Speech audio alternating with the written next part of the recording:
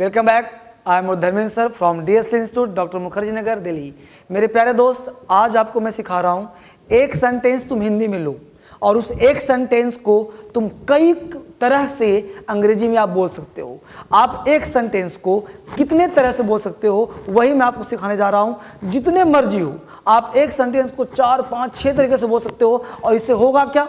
इससे होगा कि आपकी स्पीकिंग फ्लुएंसी बेहतर होगा। क्योंकि जब दिमाग में whenever comes your mind any types of sentence at first word comes Hindi तो पहले दिमाग में हिंदी आता है and we are translating into English हम लोग उसे ट्रांसलेट करते हैं अंग्रेज़ी में then we try to speak तब क्या होता है कि प्रॉब्लम बढ़ जाता है। ऐसे कुछ सेंटेंसेज मैं आपको दे रहा हूँ, जिसको आप बोलोगे तो आराम से सेंटेंस आपके अपने हो जाएँगे। तो एक एक करके देखते हैं एक एक सेंटेंस को कई तरीके से। पहला सेंटेंस है, जैसे बोलना हो, भोजन हमारी आवश्यकता है। भोजन हमारी आवश्यकता है।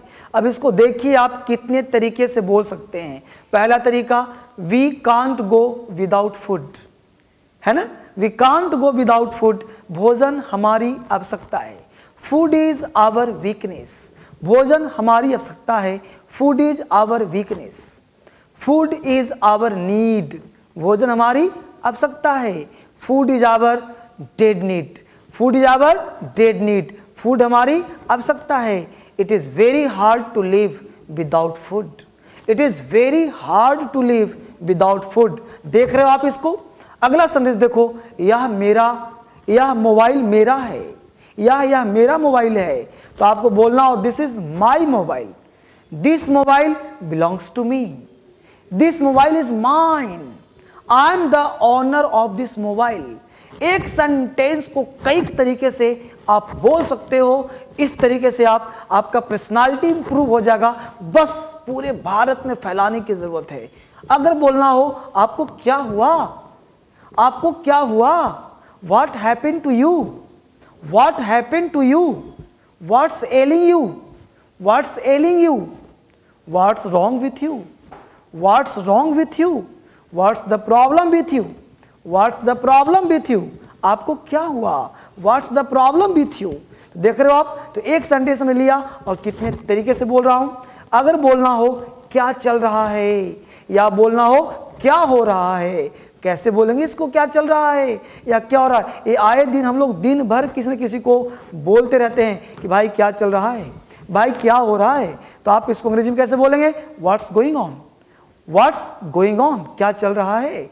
या क्या हो रहा है? What's going on what's happening what is happening what is को हम लोग व्हाट्स भी कह सकते हैं। What's happening what's the latest what's the latest what's up what's up क्या, कितना मज़ेदार है? क्या चल रहा है? What's up what's running on what's running on क्या चल रहा है? क्या हो रहा है? व्हाट्सअप व्हाट्स रनिंग ऑन इस तरह से आप बेहतर सीख सकते हो। जैसे आपको बोलना हो, यह स्पष्ट है।